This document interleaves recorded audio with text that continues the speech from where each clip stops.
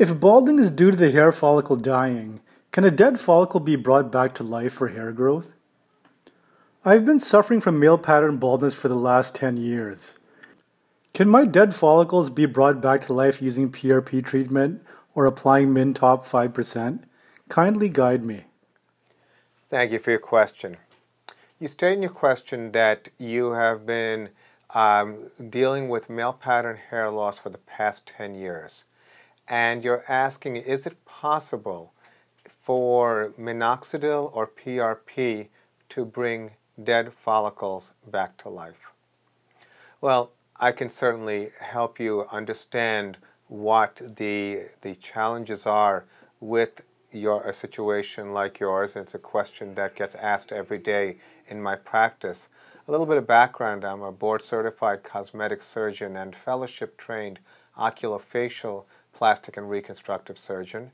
I've been in practice in Manhattan and Long Island for over 20 years.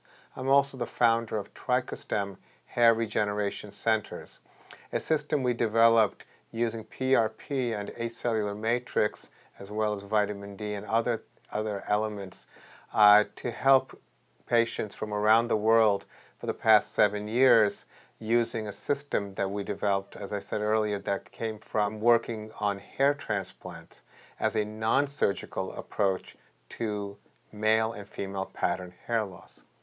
So the question about dead follicles comes up all day long. So it is essentially a challenge that we're dealing with ultimately due to the genetics of hair loss. And the genetics of hair loss basically is what accounts for 95% of hair loss in men and women. And it's a term referred to as androgenetic alopecia. It's marked by the progression of hair thinning as well as the eventual cessation or stopping of hair growth. What that means also is that the hair follicle is no longer present.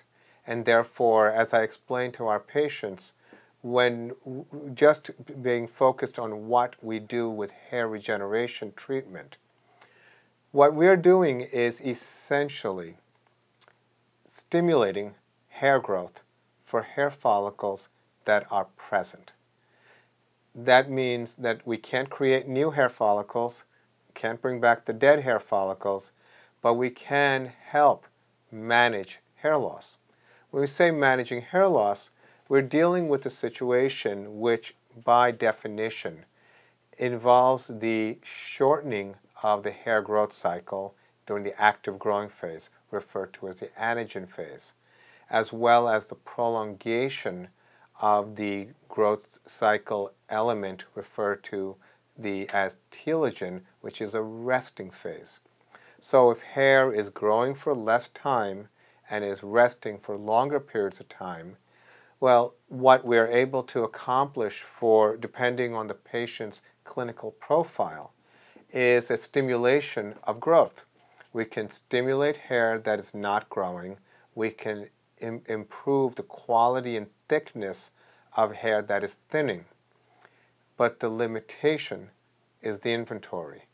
We can't bring back the dead, but we can try to maximize the, the health and wellness, if you will, of the living hairs that are present.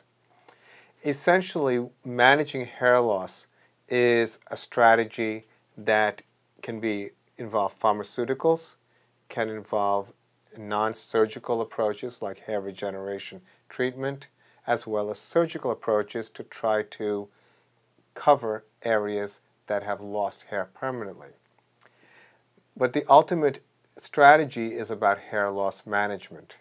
And so I think that in terms of your question, again, without the benefit of photo or physical examination, my advice to my male pattern hair loss patients is we need to do everything to maximize the lifespan of the hair to maximize coverage for as long as possible.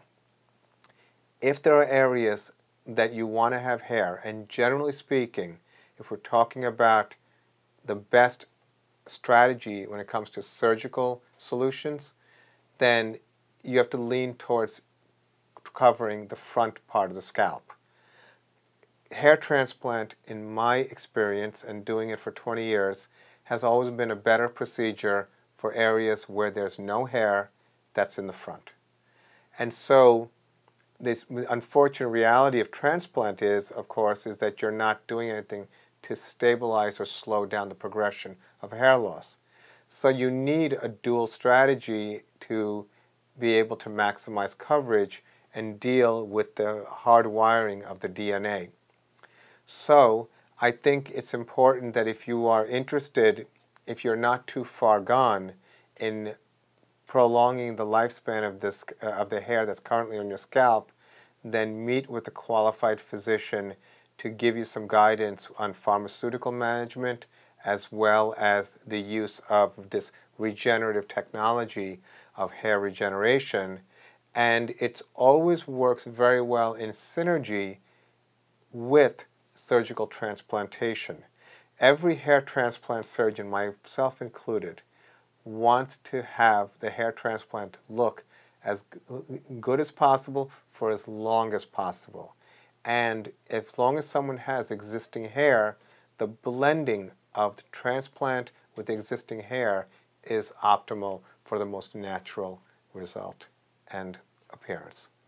So I hope that was helpful. I wish you the best of luck. Thank you for your question.